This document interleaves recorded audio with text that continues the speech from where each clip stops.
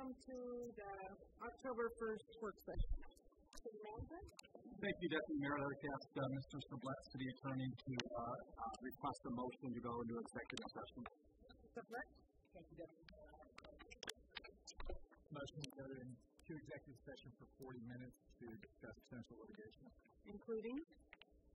including um, myself, the city manager, Shelley Starr, um, and the council and governing body. Okay. Elected officials covers everybody. I've learned that over the years. So moved. Second. So moved by Mr. Furman, second by Michelle. All those in favor, raise your right hand. Okay, um, twenty minutes? Forty. I didn't hear that. Thank you.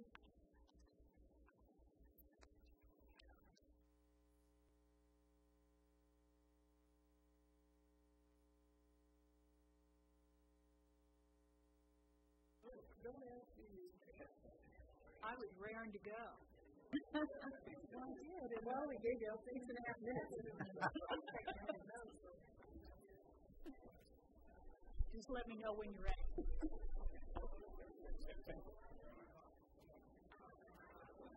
Okay, Carol, go, go ahead. Okay. Do I need to repeat all that, or do you want me to? Just real quick. Just okay. Um, this is the WPC uh, Water Pollution Control Labor Agreement.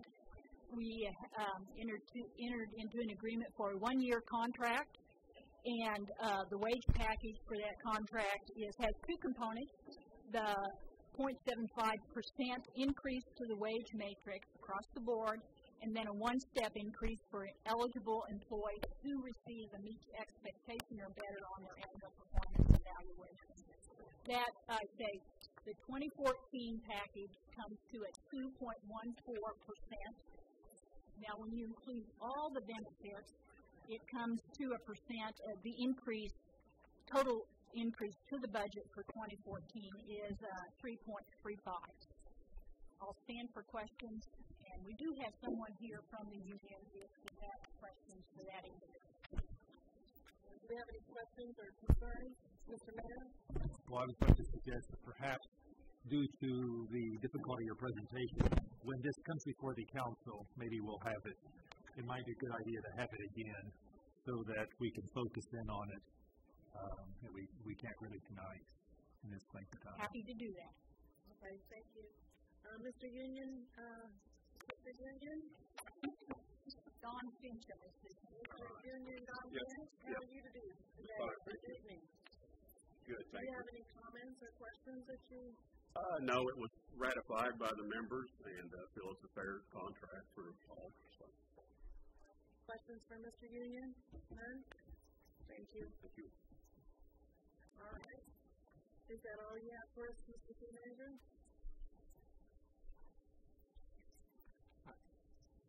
I believe that's all that was scheduled on the work session, Deputy Mayor. Okay. Is that all that's scheduled? Any other questions or concerns from the council? Seeing none, this concludes our work, work session.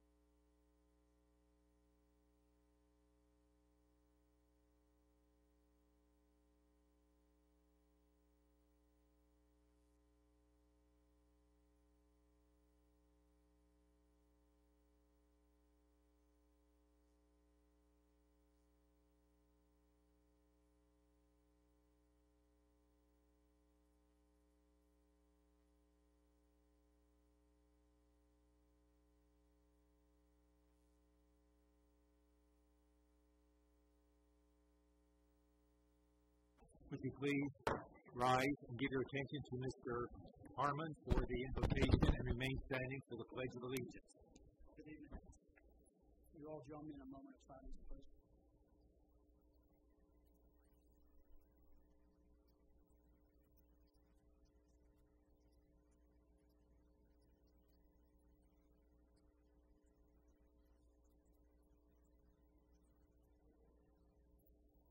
I pledge allegiance to the flag of the United States of America and to the republic for which it stands, one nation, under God, indivisible, with liberty and justice for all.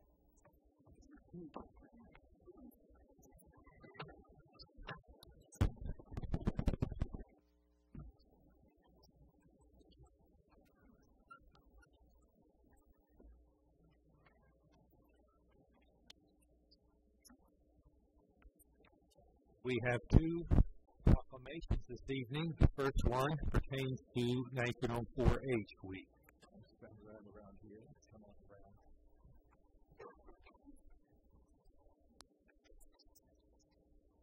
Whereas it began in rural America and it now serves youth in urban and suburban as well as rural communities, whereas 4-H is a nationwide program led by state land grant universities in cooperation with local county extension councils, and whereas each of the four H's on the clover represent ways youth can grow and develop in 4-H, whereas as part of the 4-H experience, 4-H members are encouraged to learn about and contribute to the betterment of their communities. Now, therefore, I, Larry Wolgast, Mayor of the City of Topeka, Kansas, do hereby declare the week of October 6 to 12, 2001, 2013, as National 4-H Week, and in the City of Topeka, urge the citizens to learn more about 4-H and to become more involved in 4-H as members, club leaders, club leaders, or volunteers.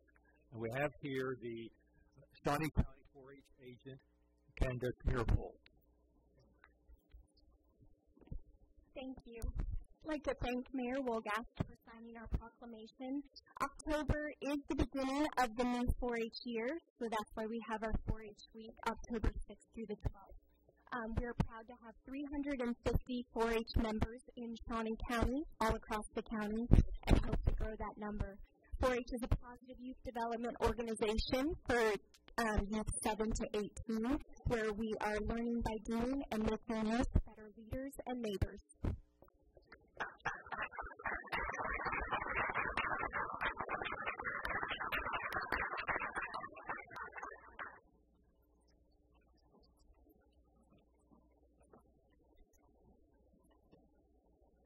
And our second proclamation is in uh, honor of Habitat for Humanity.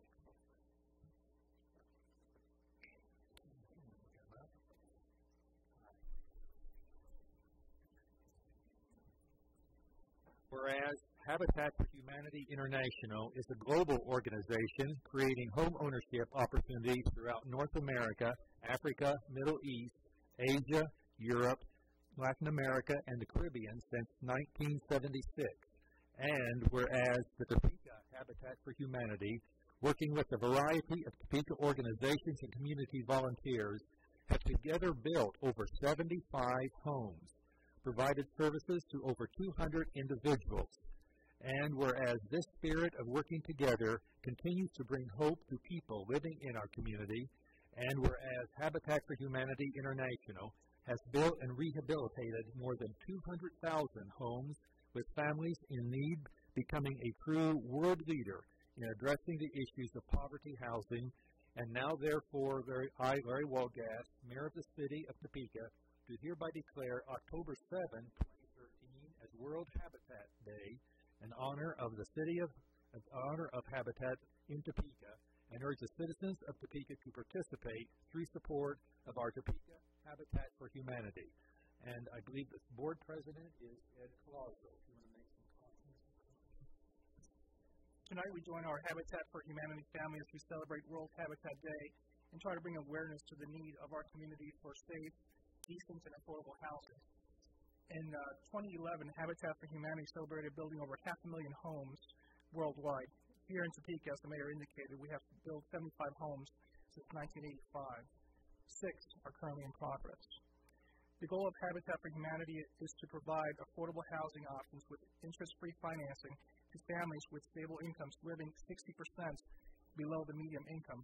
What this means is that if you have a family of four and earn $40,000 a year, you can qualify for Habitat home. We know there is a need for our services in Topeka because for the first time we have a waiting list of families who are working on their sweat equity hours and our office receives countless calls that we sometimes have to route to partners housing organizations because they are not house ready. We thank the City of Topeka for the recognition of World Habitat Day on October 7th and invite everyone to join us on October 7th at 1816 Southwest Fillmore at 10 a.m., where we com- commemorate and raise awareness for our cause. Thank you.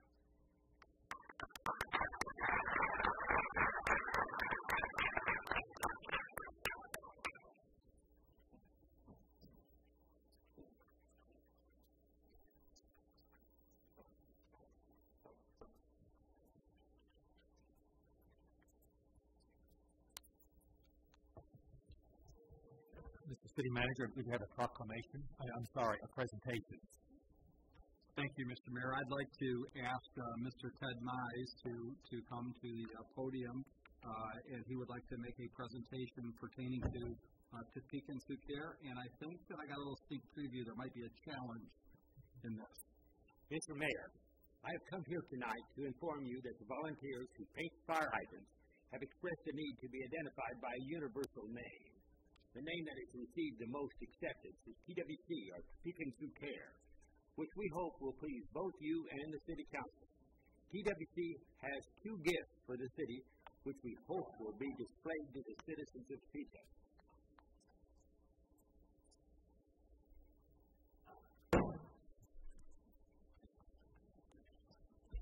This bottle contains marbles removed from paint cans so the cans may be recycled.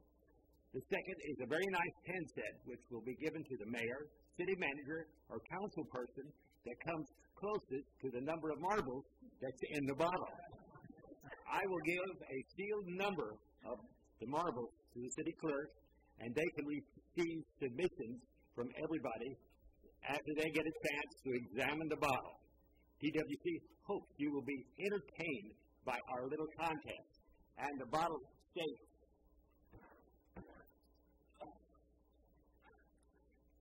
Each marble represents a fire hydrant painted by a dedicated volunteer as a gift to the city of Topeka.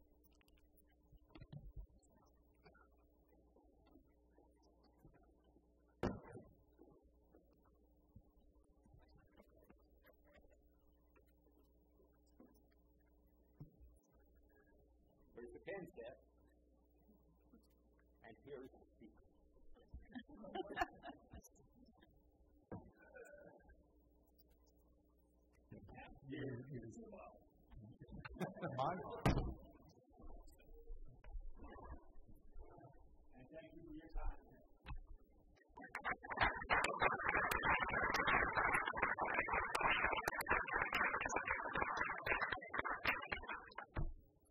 you, Ted. Interesting presentation, and I think we will be following up on the um, on our guessing, and um, maybe by later tonight we can have that decision. Is that uh, I, is that what you're? Pardon me. Yeah. Okay. You want to pass pass this?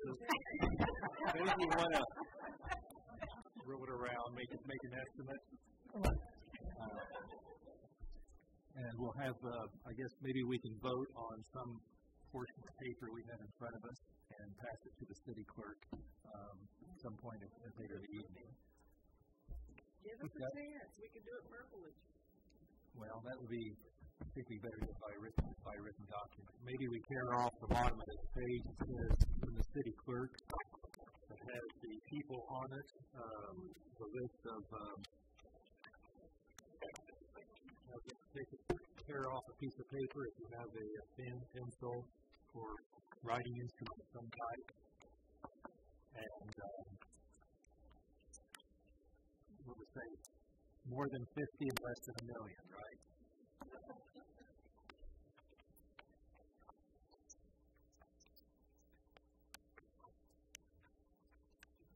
And be sure to put your name,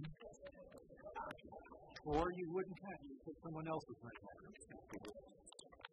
When you've done that, if we pass them to our left, to the city clerk,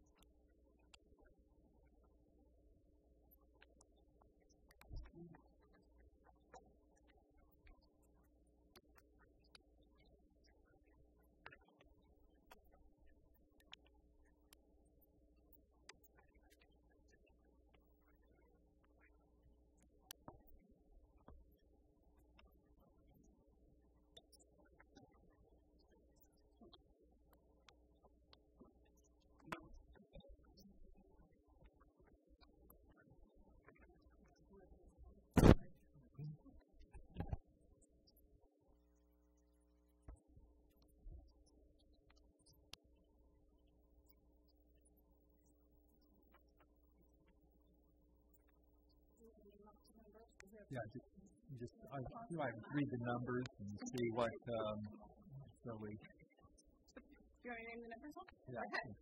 Councilmember Harmon said two thousand fifty. Looks like, um, Councilmember Schwartz, you were, is that right, three hundred and two? Okay. Councilmember Manspeaker was three hundred forty-five. Councilmember Campos is four hundred and thirty-four. Councilmember Ortiz is two hundred seventy-five. Mayor Wolgast was four hundred fifty. Councilmember Schmidt is six hundred forty-two. Karen, Councilmember Hiller was eight hundred and sixty-five. Mr. Colson was three hundred and eighty-six. And the number is nine hundred and ninety-nine. So Councilmember Hiller?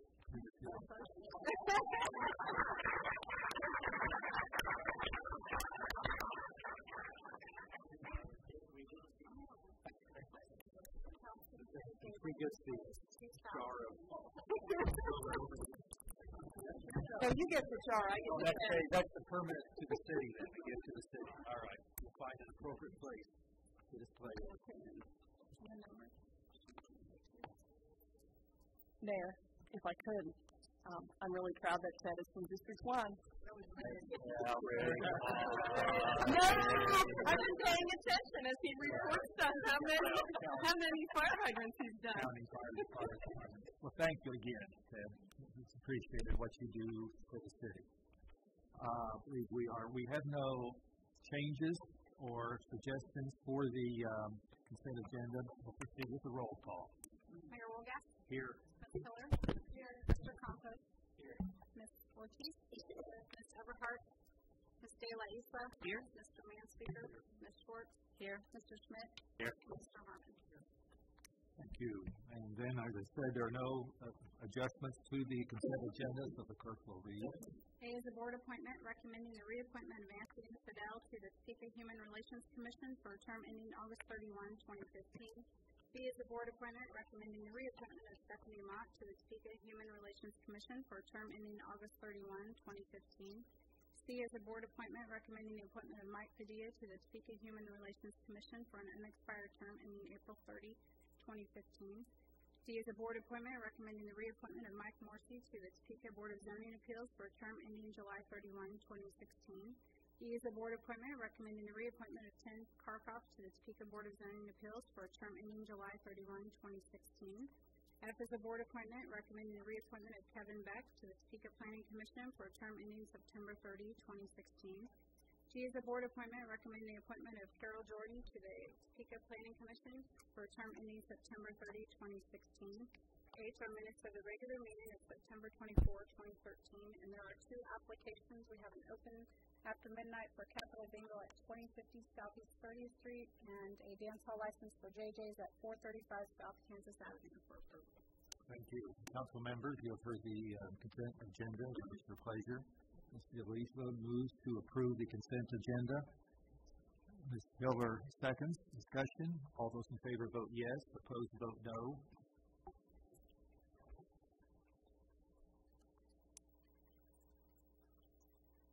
Mr. Manspeaker and Mr. Campos. We have eight yes. Eight having voted yes, the consent agenda is uh, approved as read. I'd like to introduce some of our recent appointees. Kevin Beck, if would stand, uh, was reappointed to the uh, Planning Commission. He's now serving as chair of the Planning Commission. Uh, Carol Jordan is the appointed to fill a uh, vacancy on the Planning Commission. Uh, Mike Padilla is uh, was appointed to fill a vacancy on the Human Relations Commission.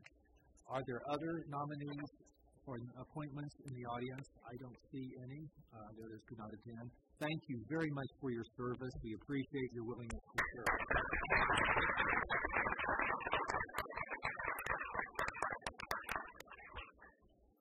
We will proceed with unfinished business. Uh, item A, an ordinance on the uh, Zoo. Is an ordinance introduced by City Manager Jim Colson concerning concessions and admission fees at Topeka Zoo, amending City of Topeka Code sections 1135, 010, 040, 050, 060, and 080, and specifically repealing said original sections, sections as well as repealing section 1135, 070, final reading. Thank you, Mr. Colson. Uh, thank you, Mayor. I'd like to ask uh, Mr. Wiley, the zoo director, to uh, present information and answer any questions. Good evening, Mayor and members of the council. During the 2014 budget planning process, the council reviewed and later approved a cost savings measure by allowing the city to contract out the operation of the zoo's admission and concession functions. During the due diligence process of generating an agreement, it was determined that the relevant ordinance had not been updated to conform to the city manager form of government. The proposed change will accomplish the following things. It updates the ordinance to the city's current form of government, makes zoo fees part of the annual budget process, and allows the city to contract out the admission and concession operations if it falls within the city's best interest to do so. Staff recommends approval. Thank you. Are there um, questions for Mr. Wiley? Uh, Ms. Hiller. I have no questions. Move to approve. Okay, uh, Ms. Hiller has moved to approve the ordinance. Uh, Mr. Delise, uh, second. Is there discussion? I'm sorry, Mr. Manson. If, if you could just explain uh, the financial breakdown to me of having Fox take over the gate. Sure. Uh, and it, what you're asking is a question that is actually separate from the ordinance change, but it does relate. The process of the ordinance change. Well, it, yeah, it's in our minutes or it's in our attached document that this is part of the change. It, it relates to it. The ordinance change allows the operation to be contracted out. That's all it does. It does not stipulate who to. Does that much make sense? Now, the reason why it's a little confusing is this is kind of coming late in the game uh, as we caught the fact that this ordinance was out of date uh, after the budget meetings, going through the uh, due diligence process. To answer your question, though, uh, there's actually four pieces that we are planning to transfer to Friends of the Zoo. Uh, it is our concession operation, the admission piece, uh, the event rental piece, and custodial uh, custodial care of public trash cans, public bathrooms, and public lobbies. There are two main driving forces behind this. Uh, one is that right now, both organizations employ staff to do the same thing. And by combining them all together, uh, get consistent training. Uh, you can use that staff smarter. Uh, you can have a person, you know, maybe cleaning your grounds in the morning and and uh, selling tickets in the afternoon as opposed to two different people that are doing the same thing. Uh, the other piece is when you look at it from a cost savings measure, uh, there are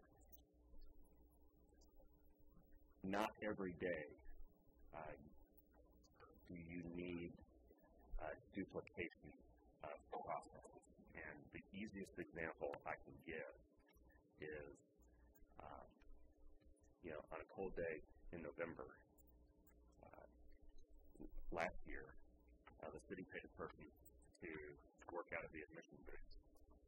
Of the Zoo paid a person to uh, sell gifts in the gift store. Uh, we're trying to capitalize on the opportunity and slow traffic time to put those services together. So the arrangement is uh, we would pay Friends of the Zoo $25,000 uh, upfront. And for that fee, uh, they will manage uh, the custodial piece they will administer the admission process.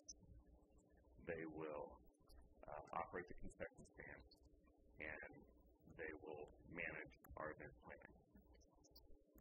Does that, is that along the line of where you see going? Start to answer the question. All right, I, I don't know if you were looking for figures specifically. I have some follow-up questions. Okay, all right, thank you.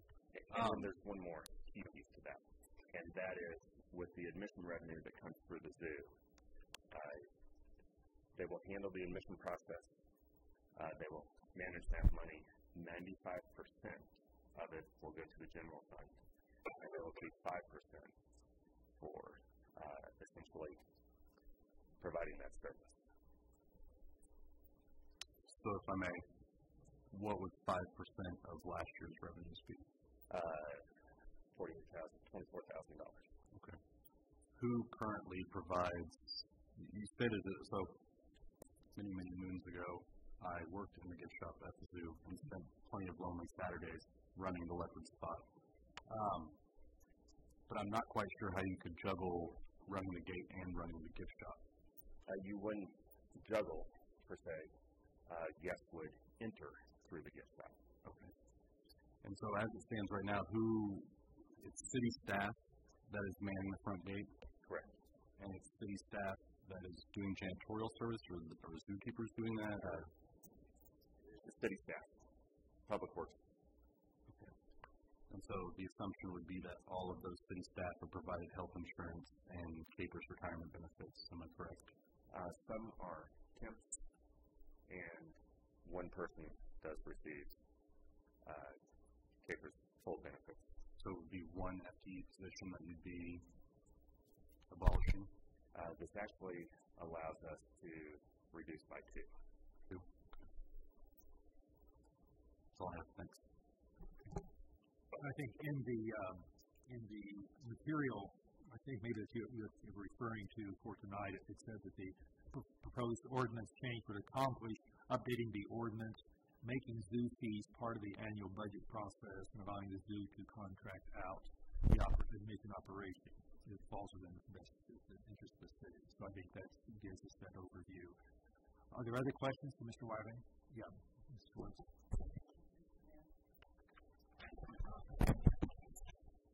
Brendan, um, first off, the Jubilee was awesome, and the auction, I visited the auction this year, had never, you know, done that. I, we need to get the word out more because there were some really awesome things on there. So, congrats to both of those things. But this realization of savings of 120,000, and that is, is that the com- is that just in salaries we're saving, or is there any? No, uh, it is in salaries and merchandise that normally we would purchase and sell. Okay, thank you. Are there other questions? Yes, Mr. Calkins. Thank you, Greg. Thank you, Mr. Mayor. I'm just curious when it comes to the concessions, we will be doing a fair uh, request for a proposal now. Uh, the uh, purchasing department did review that and chose to sole source this, and there's somebody that could potentially speak to this better than me.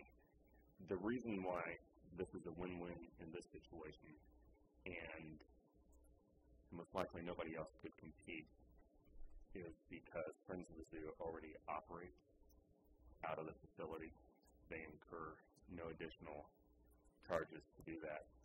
They have a current management structure already in place. Uh, this doesn't incur any additional costs.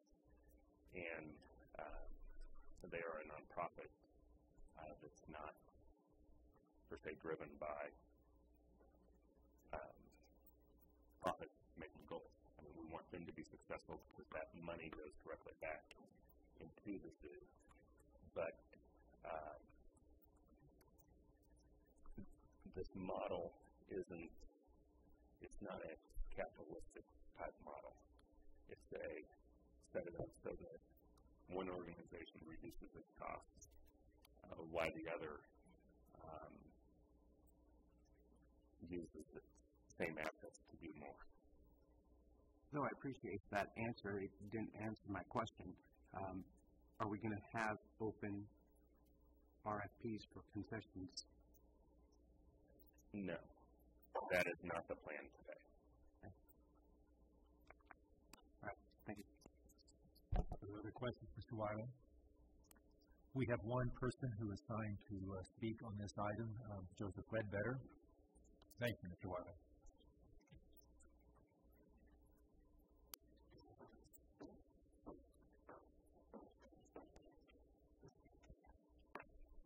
Governing body. Uh, in 2005, uh, we had a volunteer group put together, uh, appointed by various council people. I was on that, and we the zoo had some serious issues going on at that time, and it took about three years to resolve most of them. Uh, we made recommendations back then. So when I saw this, I said, "Well, this is interesting," and I, I so I did call uh, the director today. I had some questions for him. Uh, the concessions, we, we recommended eight years ago that they go to Friends of Zoo and save the city uh, quite a bit of money. Uh, that's one part of this that I have no problem with. I, I do have a problem with one of the items, and I'll discuss that further. Um, the uh, at that time, Friends of the Zoo said they didn't want to run it. They thought it would cost them money, and when I was looking at their books and looking at what they got for uh, selling memberships, I said, well, we need something back from Friends of Zoo for your privilege of selling the uh, the memberships.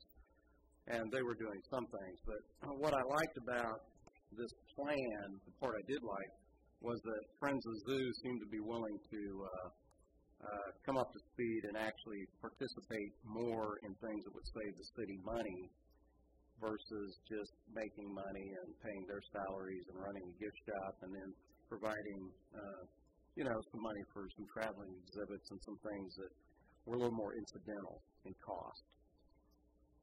And so that part, you know, I like. We we made other recommendations back then too, like uh, there was a construction manager. We we didn't see why we were paying for that, and they eventually did eliminate that position. Um, the the part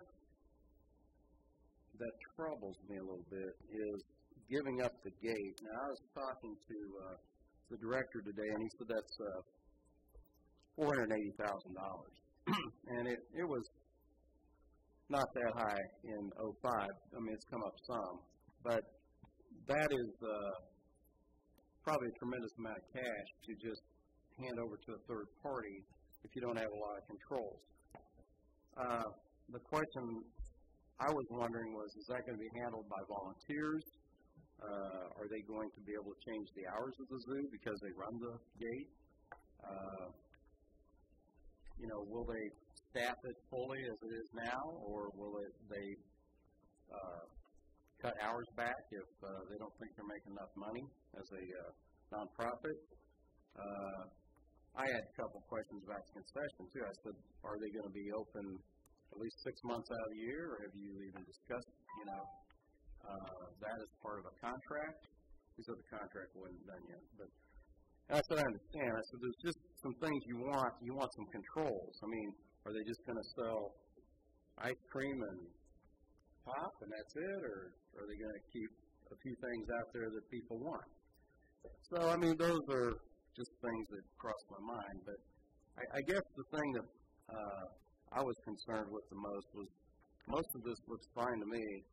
Uh, transferring concessions, event rentals, custodian expenses, that's all fine. That causes Fox to do more for what they're entitled to do, which is sell those, uh, you know, basic gate passes, those those family passes. But the problem is, uh, who's controlling all that cash? And do you have people that, uh, you know, for lack of a better word, just trust to entrust with that much money? I'm going to ask for more time. Motion to extend. Mrs. Ortiz moves to extend the time. Motion to extend three minutes, please. Three minutes, Louise, three seconds. All those in favor vote yes. Those vote no.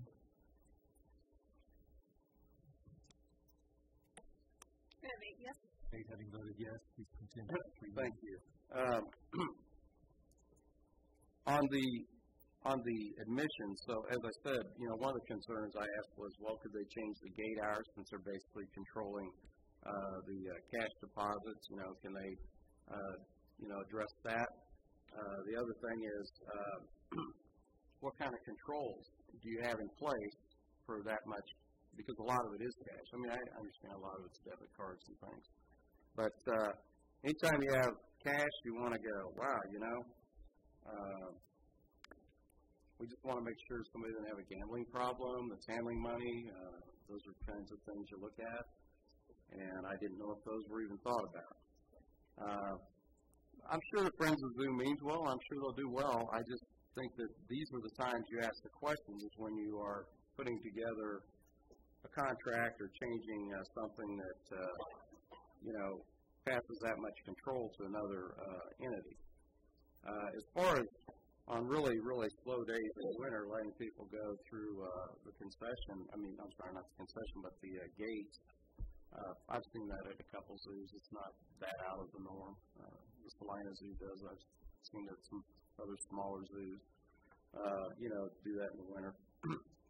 but I mean, I think the concept's right, and uh, I just uh, have those concerns that I've voiced on record, and uh, uh, again, saying that. Uh, some of these ideas, uh, sometimes you know, people in the community have already thought of them, and then it takes another eight years to get to uh, you know the process. But uh, anyway, uh, that's all I have. Thank you. Thank you, Mr. Ledbetter, for your comments and suggestions, recommendations. I'm sure many of those we are they're aware of, we take into consideration. Is there any other comments, questions? We have the uh, ordinance before us. It's been uh, moved and seconded. There's no other Discussion? All those in favor vote yes. Opposed vote no.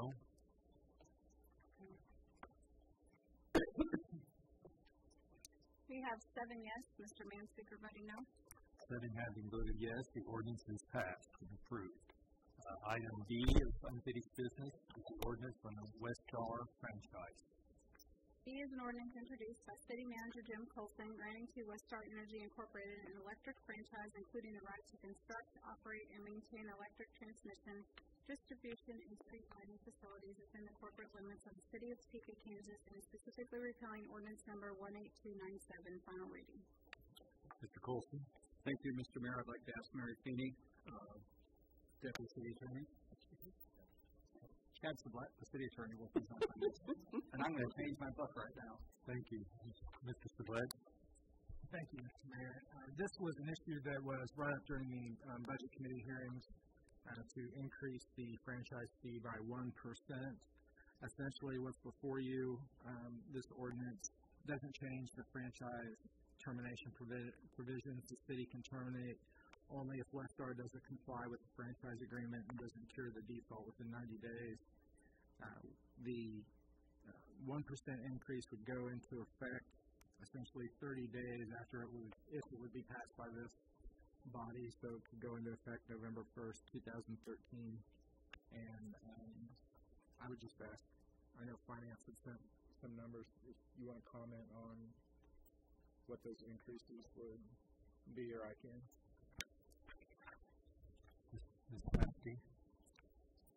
Right now, we're lowballing the estimate. Uh, we think it'll be about six hundred thousand per year for the one percent. Um, in twelve, we took in seven point three million in uh, Westar franchise fee, In 2011, we took in a little over 7 million. In 2010, we took in 6.7 million dollars. So if we did a straight 1%, it would be a little bit more than 600,000, but we're trying to uh, estimate our revenues on the low side.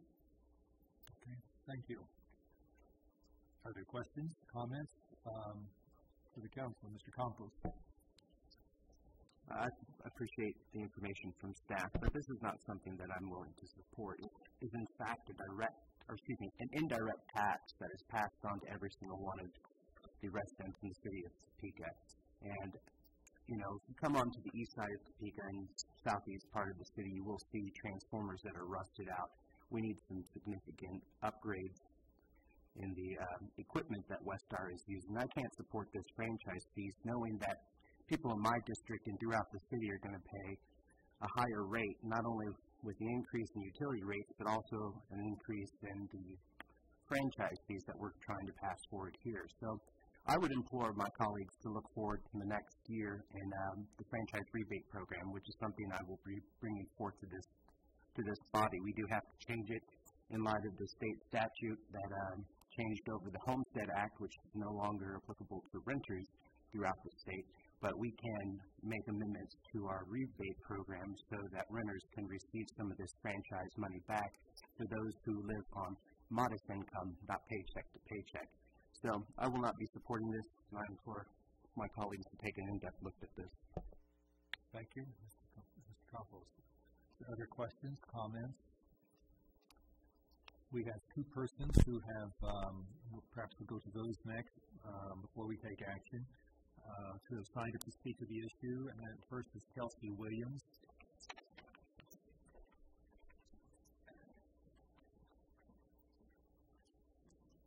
Ms. Williams. Good evening. I'm Kelsey Williams here on behalf of Westar Energy. Um, in summary, this is just uh, a typical operation that we do with all of our cities, um, and they're open for renegotiation in certain terms listed within the franchise. The only thing changing in this is in response to a request from the city to change it from 5% to 6%.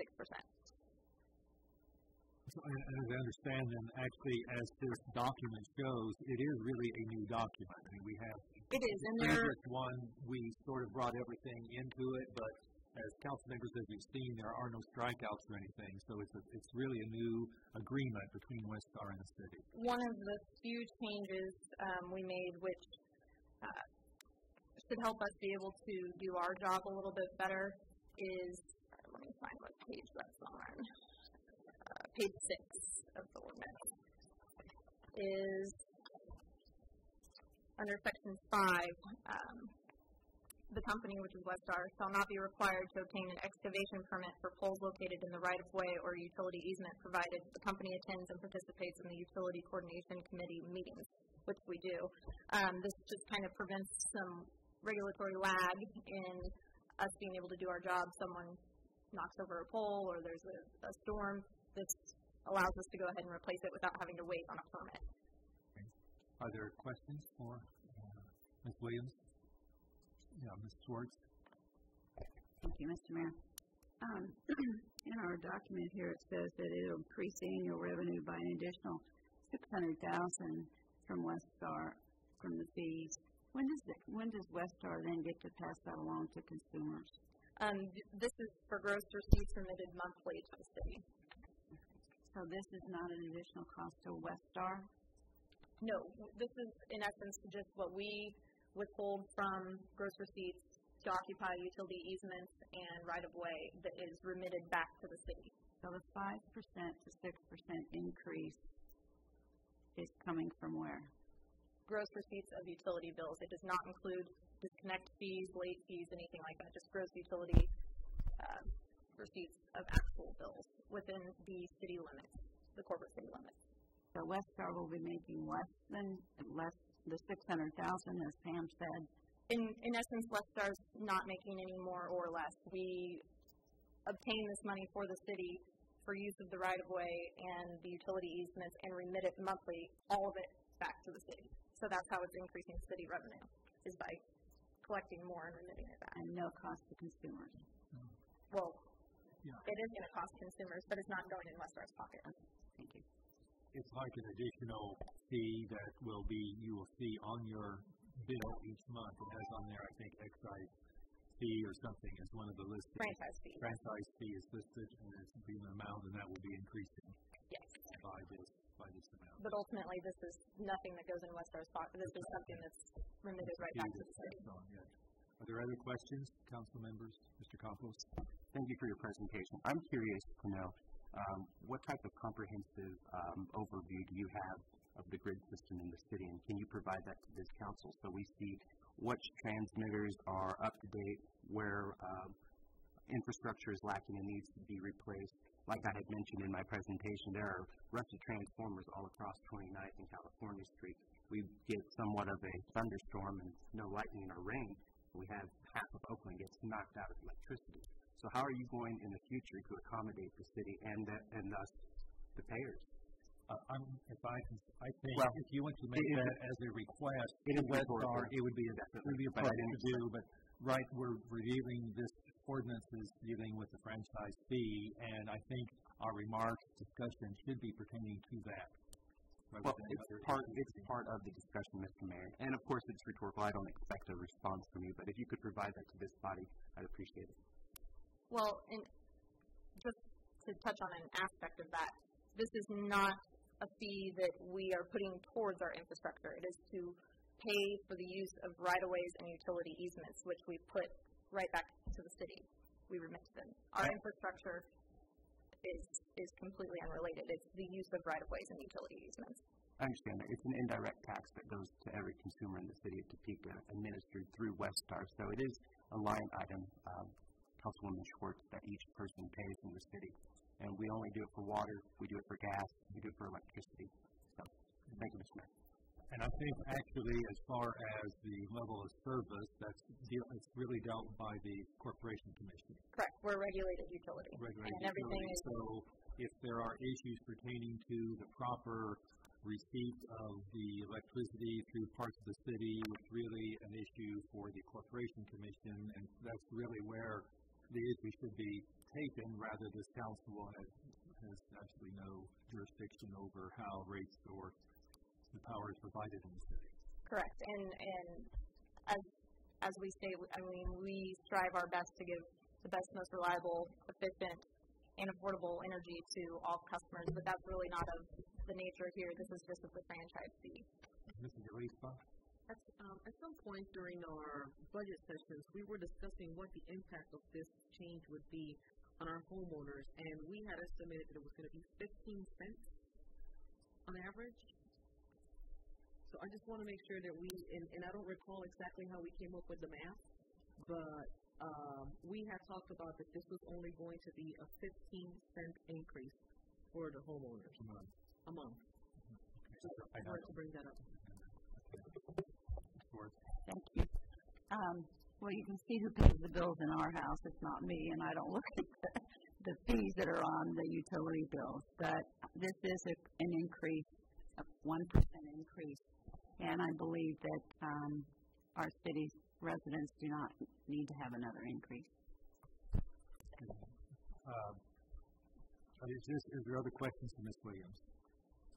I just wanted to, uh, I know when we talked about this uh, um, in budget over the summer, people were very stressed about how to handle needed revenue for our budget and didn't want to raise property taxes, really debated whether to increase this. And part of whether it work, would work had to do with whether Westar would be responsive and turn right around and get this done. And I just wanted to thank you for your cooperation in responding to our request.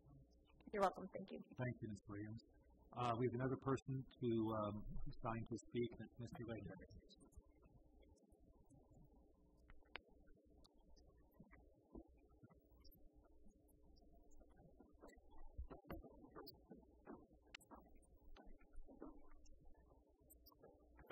Evening, governing body. Uh, well, I spoke my opposition during the budget, so there's no sense repeating that. It's, it's already on the record.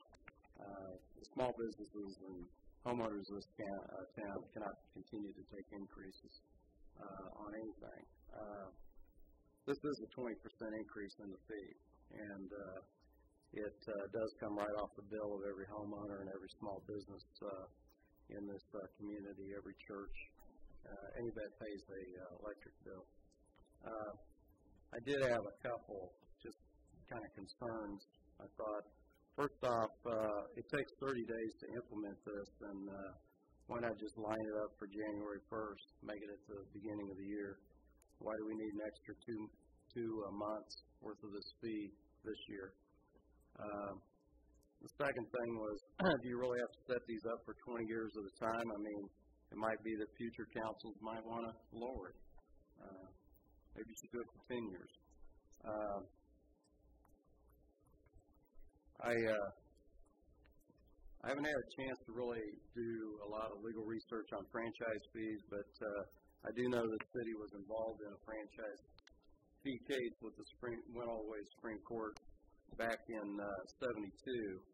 And uh, one of the things, and I'm not saying this, this particular ordinance is hanging out because I, I just have not had time to look at it, and I'll just say it's probably fine, you know, but I'm just saying I looked at this earlier case, and basically the whole of that case in 72 about franchise fees was with the cable company. Uh, so the city did have authority to enact an ordinance uh, for uh, franchise fees for that uh, cable franchise, but also held that uh, uh, the system, uh, that the fee exacted by the city for administering the system was far beyond what was reasonably or necessary for uh, regulatory purposes and uh, therefore was ruled unreasonable in its size. And I'm not saying that applies to this because it's my understanding this all goes to general fund. my problem with some of these things that are brought before the council is uh, we talk about saving property taxes, which is laudable. I mean, that's that's good. But then you raise sales taxes to the stratosphere, where we're the highest in the state, the poor cannot afford those either. Uh, the small businesses can't afford them. Uh, or you come up with, uh, you know, uh, we have enterprise funds, and I've already questioned one of those on the record, and I'm not going to go into that tonight.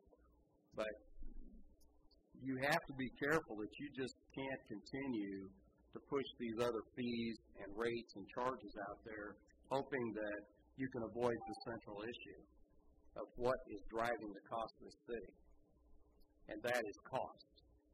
We don't need more taxes. We don't need higher rates. We need to control our costs. That includes overtime for exempt employees that shouldn't be paid it, overtime for some of these utility workers that uh, are out on weekends and on non-emergencies. I'm going to talk about that in public comments. Uh, we've got to get to the heart of the matter, and that's control the cost, and quit just expecting the homeowners and business owners to just pay and pay and pay and keep increasing and increasing fees and rates and taxes. So anyway, those are some concerns. Uh, thank you for uh, hearing me. Thank you. Thank you for your comments. Uh, one other point I think well, well I, that was made during the budget time when we were considering this is this is a tax on consumption or however you want to fee, franchise fee, and it is something that the um, governmental entities pay. So when we talk about payment in lieu of taxes, this is something the uh, governmental entities, for, for instance, the state, they would be paying this franchise fee into the city for all the, the uh, power used by state offices in the community. So that's one aspect of sort of offsetting some of the other costs that is only on the residents, which is the property taxes. Uh, we do not have an, a, um, a uh, motion or action on this, Council. Do you have your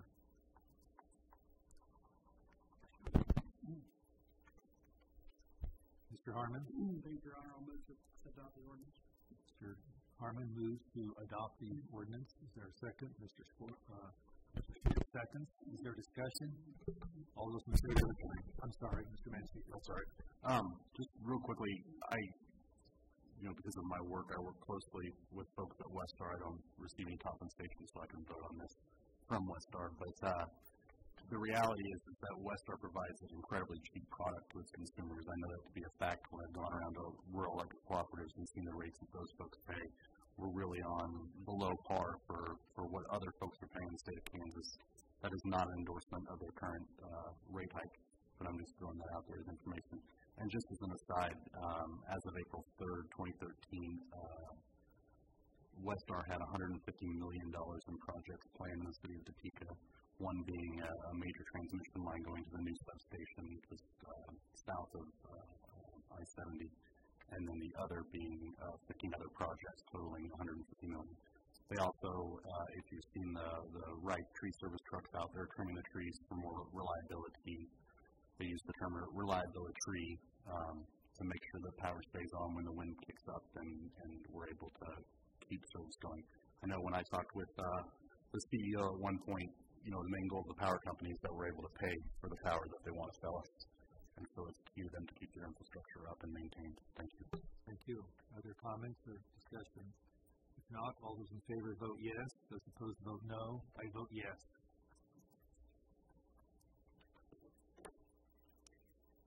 Your yes, Mayor. We have seven yes. Conference and voting no. Seven having voted yes, the ordinance is approved. Going to item C, the allocation of youth and service grants.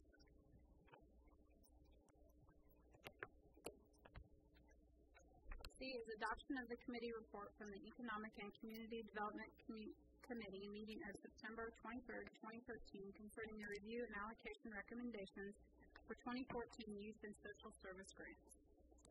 I recognize Councilwoman Hiller, who will give the committee report.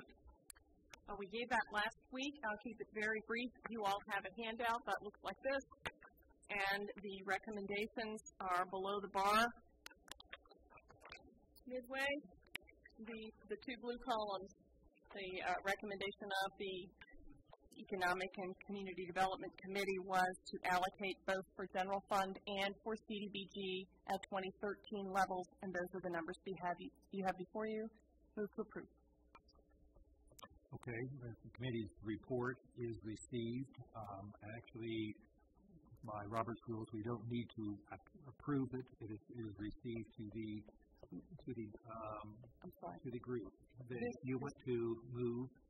This this group needs to approve those allocations, That's that allocation recommendation. That's correct. Okay, and so um, Councilwoman Hiller is moving in accordance with the committee's recommendations. Correct. uh, that she's moving as the social youth and social service grants be allocated at the same levels as 2013. Um, Mr. Schmidt seconds. Is there discussion? Seeing none, all those in favor vote yes, opposed vote no.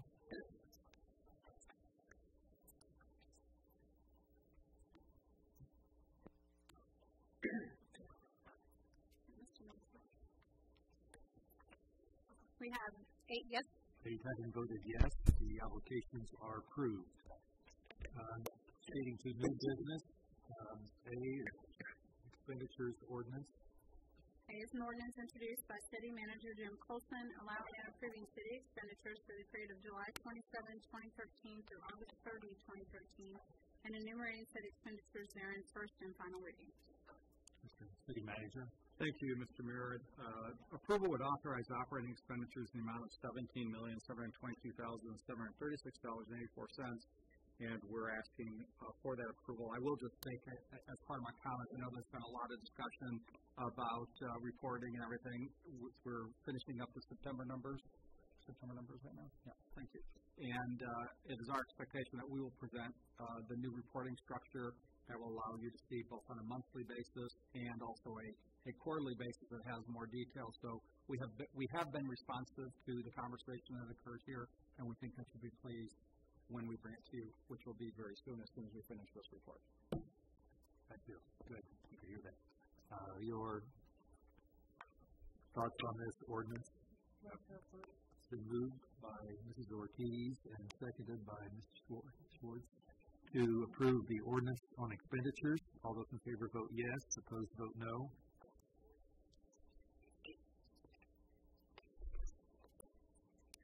We have seven yes, Mr. Campos voting no. Seven having voted yes, the ordinance is approved. I don't believe there are any applications this evening. There are no first readings, so we will proceed to presentations. Mr. City, Mr. City Manager. Thank you, uh, Mr. Mayor, uh, Council. I just really wanted to very quickly talk about uh, the uh, neighborhood relations position that was introduced last week, and uh, uh, Darren Scott uh, stepped into that position. Uh, very exciting. Uh, I think he has a unique set of skills. He understands the city, understands the neighborhoods. We're working very diligently to address many of the code issues and the code enforcement issues, how we how we do it, what the code looks like, and, and many other issues associated with that. We plan on coming back to you very quickly um, with our with our plan to address many, many issues. So, and once again, I, I think we've been kind of quiet in the last couple of weeks, but I want you to know that staff's been diligently working on many items that were discussed uh, during and throughout the budget process. That concludes my comments. Thank you. I want to uh, comment briefly on that. Um, uh, Councilmember Smith and I attended the intercity trip that the uh, Chamber of Topeka organizes, and we uh, were in Fargo, North Dakota, uh, metropolitan area of about 210,000 of Fargo, Moorhead, Minnesota, and West Fargo, very similar to Topeka. Uh, just two points uh, that I would make of the of the learning process. Number one is what they're doing in their neighborhood. They have the most, by far, one of the most forward-looking processes of dealing with issues within neighborhoods. The entire city is composed of neighborhood associations, having goals. Uh, they have a program to help their neighborhoods uh, improve their structure.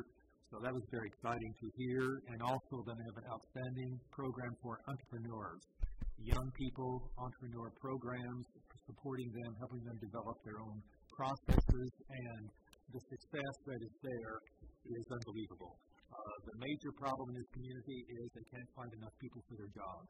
Their, their economy is growing so rapidly, they have difficulty in being able to provide all the needed people in their, in their industries and organizations. So it's very exciting, uh, very, sim- very similar in Topeka, in Topeka in many ways. Okay, and with that, I will proceed. Mr. Harmon and Mrs. Hiller. Real quickly, uh, it's been a busy week for me. I have had a lot of street, alley, and sidewalk constituent issues. Um, kind of swamped with them. There have been both half-cent sales tax and other uh, sources. I just wanted to say I appreciate the staff assistance. We have been able to work through pretty much all of them in pretty short order, and that's not easy.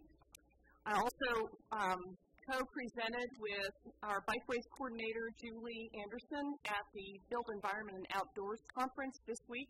Topeka hosted that conference. Um, there were others from Topeka that presented at other sessions as well. I just wanted to share with all of you that we, we co-presented with Wichita. It went well. It was well received. My part was to talk about the strong citizen participation, engagement, and involvement in our bikeways development um, it, was, it was great to present that. At the same time, we've got a long way to go. Scott um, Wadle from Wichita just says, so we're having a friendly competition, huh? They are way out there, as are other cities in the state with their bikeways development. I also wanted to, um, many of you saw the photo, but my colleague John Campos and I got out on the river with, as the governor and a group of about 100 people floated from Wamego, canoed or kayaked from Wamego to Belvue to open up the new boat ramp at Belvue. They're now up to, I believe it's 19 boat ramps on the river between Junction City and Kansas City. It is really opening up steadily for recreation. It was fun, and it, it made it even more compelling to see if we could get the section here through Topeka open and open safely. And last, I want to thank my colleague, Councilwoman Schwartz. She invited me to join her for coffee and conversation at a coffee house in with people from her district last week. It was well attended. It was a lot of fun and uh, a good model for all of us to think about doing more of. So thank you. Thank you, thank you Mr. Mayor. Uh, first of all, I would like to extend some congratulations to Amber, who is an assistant to Jenny in the council office. She just had a baby girl, right? Yeah, just had a baby girl a few days ago. Congratulations to you and your family. Um, to uh, follow up on what Councilwoman Hiller was saying, uh, it was nice to go out onto the river with the governor and speak about an unleveraged asset that we have here in the city and in the state. Uh, if you come to District 1 and District 2, we'd be happy to take you around the river at some time, even put you in a kayak, and hopefully you don't make your way down to Lawrence too fast. But uh, nonetheless, it, it is a, a vital asset for us to recognize Uh, people always fish. There are points in the river where uh, you can just walk straight across the sandbars and, you know, not be in much trouble with undercurrents. The perception of the river is that it's dangerous. You know, there's a folklore that kind of goes through my community, and I've grown up with it, that we stay away from the river. And I think we uh, need to position ourselves, Mr. Mayor, to uh, to actually open that up. It is a vital place for recreation. Uh, I do want to invite people out. We do have Kids Night this Saturday at Garfield Community Center. I will be uh, working with the uh, Topeka Community Foundation to be showing Toy Story 3 starting at 7.15 this Saturday. Also, we do have a movie on the lawn on the south part of the Capitol. I believe it's Goonies or City Slickers. I don't know which one it is. Goonies. Yeah, you guys. And lastly, uh, nah, never mind. That's, that's it. Thank you, Mr. Mayor. Mrs. Ortiz? Well, I was just going to announce that Goonies is playing at the Capitol 7:30. Bring your own lawn chair or your blankets, and um, I didn't know about Toy Story, so they're both free. And I guess I have to flip a coin. And um, Now, which, which night is that at the Capitol? it's Saturday This night. Are they both Saturday? Mm-hmm, they're both Saturday. Um, they they did that because people want to go out on the lawn and go to the movies, and they used to have them on Thursday nights, and people were kind of complaining. But I tell you, there's been a lot of lot of families um, doing this, and it's it's just rather awesome. So if you get a chance, awesome place to be. Thank you. Mr. Lisa? Mr. Manspeaker? I would just note that it's been 47 days since we found out that the fire department was receiving overtime and supervision positions, and that practice has not ceased. Thank you. Schwartz? Thank you, Mr. Mayor. First, I want to announce on Thursday it is Jumpstart's Read for the Record, and I'll be at Bishop Elementary reading to the kindergarten class the book Otis. And here's Otis, and I'll leave that with the, the class. Um, you can get a digital version of this at wegivebooks.org. It's free to the public, and their whole purpose is to try to get as many people reading to kids as possible on the on the same day. Um, millions will be, I guess, they've been on the Today Show and everywhere else. So let's all read to our kids on October 3rd. Um, the other thing is that we have Apple Festival this weekend on on the on the 6th on Sunday, and I'll be working out there at the festival at the Ward-Meade um, with the Ward-Meade Park um, Gardener Club. So thank you. Thank you. Smith? Thank you, Mayor.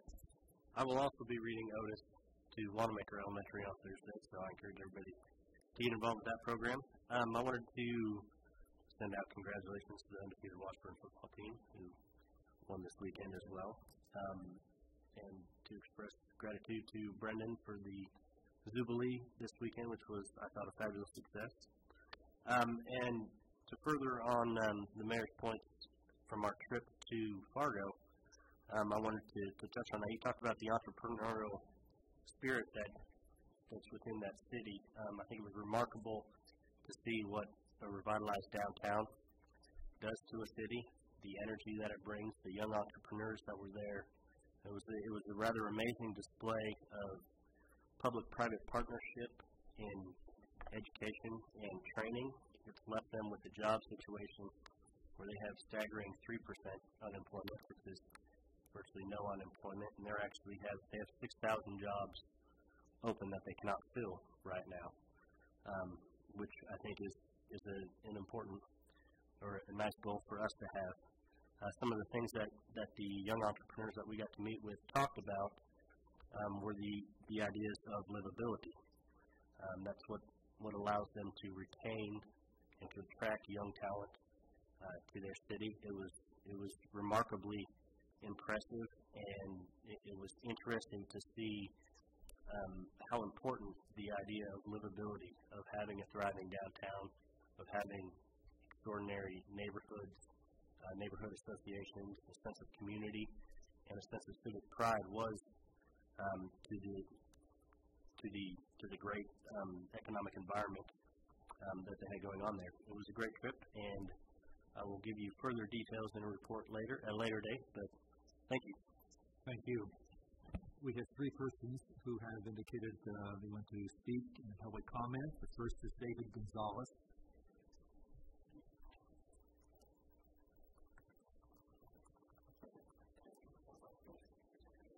Mr. Gonzalez, speak. Hi there. I come here because I have um, and something came to my attention that needs to be addressed, which is that of our public waters. And um, I talked to um, the public water system, and it told me that they're adding fluoride to our public waters, which people drink on a daily basis. And I found that troubling because I did some research on that, and fluoride, which is people say that it's good for you because it's good for um, dental cavities and such, like to prevent any um, dental problems and such. But after doing some research, it has come to my attention that attention that it has many negative effects that has not been, you know, talked to the people about. And so I'm going to read a little bit about what uh, my research has, you know, shown. As of May 2013, a total of three studies have investigated the relationship between fluoride and human intelligence. Of these investigations, 37 of 43 human studies have found elevated fluoride exposure is associated with reduced IQ.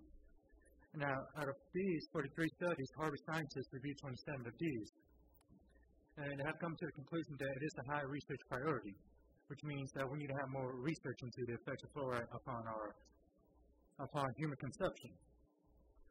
And after much more, you know, study, they have come to the conclusion that fluoride has indeed has an effect on a child a child's neurodevelopment, which means that um, fluoride over ingested over a long period of time does decrease a child's IQ by eight points. And not just that, but um, people see fluoride as a form of medication, but what's troubling to me is why is it being, you know, put into the public waters? Do people not have a right to decide that they want fluoride in their waters, or do they not have the option, the choice to choose, you know, to be able to drink water that's readily available, you know, just free of fluoride, instead of having to buy bottled waters, you know? And also, um, also more research has shown that um, the Food and Drug Administration say that fluoride is a drug, not a nutrient when used to prevent disease. And so, by definition, fluoridation of the water is a form of medication, which brings up a moral, you know, question is, well, is why are we medicating people without their consent? And um, most of Western Europe uh, nations have rejected the practice of fluoridation in our waters, public waters. And 97% of Western Europeans do not drink water that's fluoridated.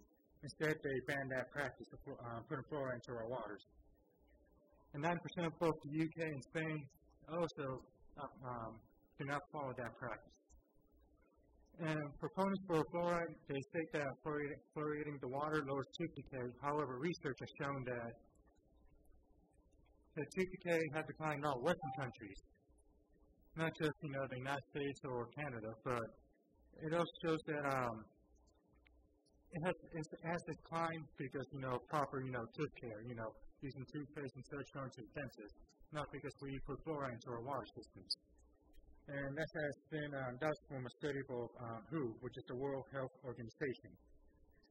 And also, uh, fluoride ingested over long periods of time have correlated with a range of serious effects, including arthritis, damage to the development brain, reduced thyroid functions, which is um, considered the Adam's apple, which where is it? Oh, trauma. There we go. Which regulates the body uh, metabolism rate and plays an important role in the human health for all, meta- for all metabolism. Active cells are regulated by the thyroid. And also um, increases the chances of um, osteosarcoma, which is um, a form of bone cancer, which affects tissues that support uh, parts of the body, fat, bone, and most of the cells conclude your remarks? Uh, yes, please. If I can have at least two more minutes, if possible. Motion to extend. Second. Uh, Mr. Madden, speakers move to extend for two minutes. Mr. Campos seconds. All Thank you those in your time. favor vote yes. Those opposed vote no. We have a yes. Dave Heading voted yes. Please continue for two minutes. All right, and the fluoride that's added to the, our water systems is not naturally occurring. Instead, it's known as fluorosilicic acid. It is a corrosive acid capturing the air pollution controlled by the phosphate fertilizer industry, which includes a higher risk of cancer hazards from acid elevated arsenic content. and neurotoxic hazards from the acid ability to increase erosion of lead from old house pipes. And to make it matter worse, fluoride, the, the fluoride that's added to our public waters is not, it does not go under any purification process, which is troubling in itself. And fluoride um, main benefit does not come from being ingested or drank. Instead, um, the main benefit comes from being applied in a topical manner, such as toothbrush. And once fluoride is into the water, it is virtually impossible to control the dose for each individual who drinks um, out, of uh, out of public water, tap water. Because people drink different amounts of water, especially people who work out in the sun, manual labor, and athletes. And fluoride accumulates in the body. Healthy adults kidney excretes 50 to 60 percent of fluoride ingested each day. The remainder accumulates in the body largely in calcified tissues such as the bone and the pineal gland, which is responsible for the synthesis and secretion of the hormone melatonin, which regulates onset of puberty in females and helps protect the body from cell damage caused by free radicals. And so, one of my questions is, um, what, what do we need to do, you know, to um, stop the process of putting fluoride into our waters, drinking waters, of course? Well, this is a time when you make a presentation. It isn't a time of question and answer. If you have a copy of your of your presentation, that we could have that, that would be helpful. I do not we have could one find, at the moment. pardon me? I do not have one at the moment, but if possible, I can send an email to each of you guys. That would be fine. If you can send the material to us, that would All right. And is there any chance, like, um, would I need to start a petition or something like that get signatures? Okay. Why don't you check with the legal department after the meeting? just is the time to just make a presentation. All right. We don't provide information back and forth here, okay? All right. All right.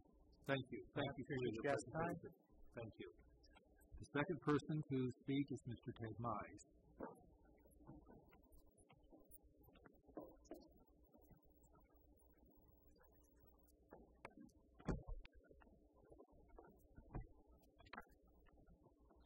Mr. Mayor, City Manager, Councilpersons, you know my name Ted Mize, and I live in Central Topeka. I apologize that my appearance tonight, but I came directly from the streets of Topeka, working to improve the looks and safety of the city. In fact, I've taken care of uh, 18 fire hydrants in the last two days. I am still asking for your help in contacting persons that are willing to contribute to the community, and this is a continuing goal.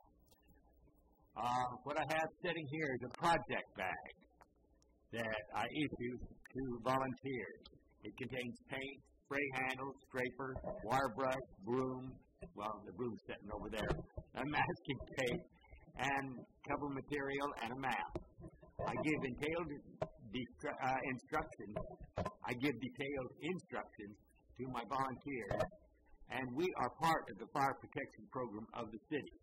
I've been told by groups once involved in this type of volunteer service gives a person satisfaction because there is a visual result for the community. The groups are given a choice of the area in Topeka on which they work, and I speak to the listeners tonight who might be interested to contact me or any city agency, and we will work with you. We should remember that the beauty and safety of Topeka is the responsibility of all of us. And one added little thing that I've run onto, and I think we really need an ordinance, but I don't think we have one, is that unfortunately there are some people that like to plant stuff around fire hydrants. Uh, this makes them, number one, inaccessible, and as the project I happen to be working on, I had to hunt for the fire hydrant. I knew where it was because of the map, but the fire department doesn't carry them. And we really ought to have something that says that uh, the visual obstruction to a fire hydrant should be illegal. Well, thank you very much for your attention. Thank you, Mr. Mize, for your presentation. The third person is uh, Mr. Joseph Ledbetter.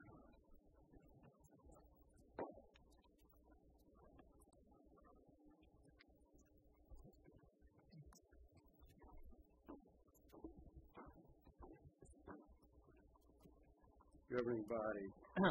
well, I was just thinking about that problem Ted just posed, and I thought maybe if there were more dog at larges, they would take care of those fire hydrants. I was glad to see Ted return the marbles that I know have been missing from City Hall for many years. Wow. that went over good. uh, I'm talking about before y'all got here, of course. Uh, Had a concern. I raised this with the uh, manager's office. He did deal with it. Uh, I turned in, uh, I'm, well, let me just start this again. On uh, Labor Day, 8 o'clock, uh, I was in town picking up something, and I noticed a city vehicle, dump truck, empty, traveling pretty fast on 37th and Burlingame. And I said, that's interesting. And uh, so I turned that in. I said, why do we have city employees working overtime on Labor Day? Since we seem to have a serious overtime problem in our budgets. Uh, I was told, uh, talked to uh, Doug in charge of Public Works later, that uh, that in fact was a non-emergency uh, event. And uh, so I thought, I wonder how often that happens, because I've seen it more than once over the years.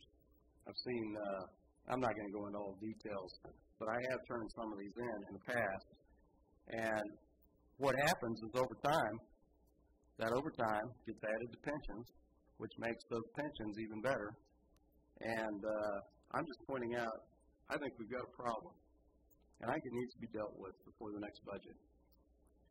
Uh, I looked back at some articles said that uh, the water department had run up a million dollars worth of uh, overtime this last spring.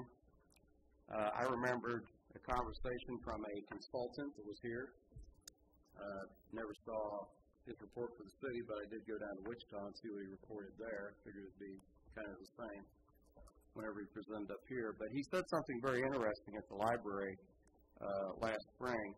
He said that uh, he had found that uh, uh, on numerous occasions, city employees had, uh, in their testing or flushing of lines, were breaking the lines. And he told them they needed to uh, lower the uh, pressure that they were cleaning them out with. Uh, you wonder how many breaks were because of that, and then it went to overtime. Uh, I'm sure none of that uh, is deliberate, but when you talk about the kind of cost and budget problems this city's got, you have got to start looking at overtime. Private, the private sector does, and uh, actually the uh, the postal system is doing a lot of studying about how to cut their overtime right now, and uh, and they're doing it. And so there's a quasi-governmental agency that's paying attention to it. So I believe that governments absolutely have to look at these things and deal with them. Uh,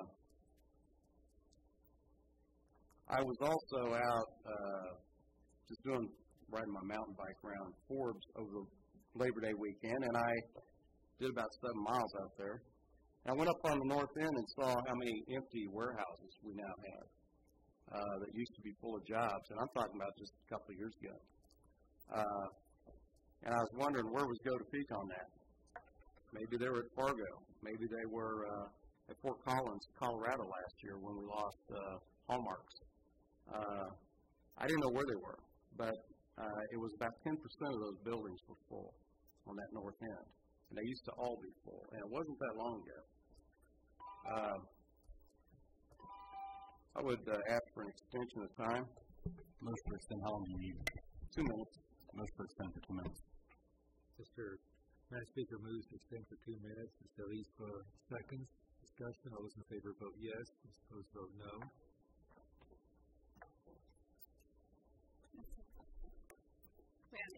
Eight yes. Thank you. Need for. Uh, it's really past time for us to start dealing with economic development and that contract that Go to has, and their contract's coming up again. And it's time for the public to be allowed to comment at length about how to deal with their problems or our problems, which are, and how they are not dealing with the economic woes that this city is facing. It's time for the public to be allowed to speak at length. As long as they do, we need to be able to talk about uh, everything and get this all on the record, including the reforming of that contract, which has way too many holes in it, uh, in my opinion. Uh, one of the reasons Fargo is doing so well, and I'm going to check this out. Uh, this is a question: Do they have a lot lower taxes than we do? It's a capital city, But I do know one of the reasons they're succeeding very well in North Dakota. I'll check it out. Uh, they have gas fields and new oil discoveries uh, just west of their capital. Of course, they've got a lot of new jobs up there from uh, oil expansion with the tar sands. uh, I think uh, one of the best ways to deal with uh, the remaining two years of the economic development tax is to let the city just run its own program, and let's see what you can do. Uh, I have to believe you can do better. I just have to believe you can do better than what I'm saying. And when I see empty warehouses in an industrial park, that's what Forbesville is. It's all industrial. I see no need to be going out and buying more land for an industrial park south of town. We've already got about 500 acres, and yet they continue to add to it and add to it, and there's only one business out there. And, uh, I, you know, for lack of a better word, I, I just think it's ridiculous. All right, thank you. Thank you, Mr. Ledbetter. Are there other items before the council? If not, we are adjourned.